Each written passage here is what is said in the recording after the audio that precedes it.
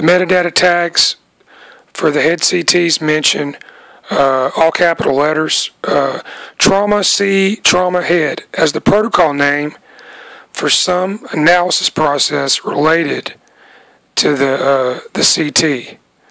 Uh, study priority ID is again uh, listed high in the metadata tag.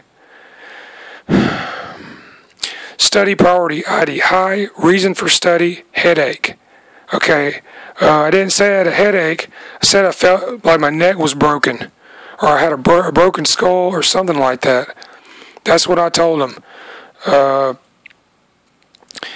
and they take that, they play these word games, uh, and they switch out headache uh, when I say something else.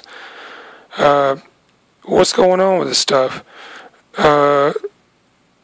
It's weasel words, uh, so they can uh, get out of responsibility uh, for doing their job. And I don't know why that is. Uh, it's because they don't have insurance or money or a job. Uh, is this some Obamacare uh, artifact? Um, it is unbelievable. Um, but I wish somebody would tell me. Please do.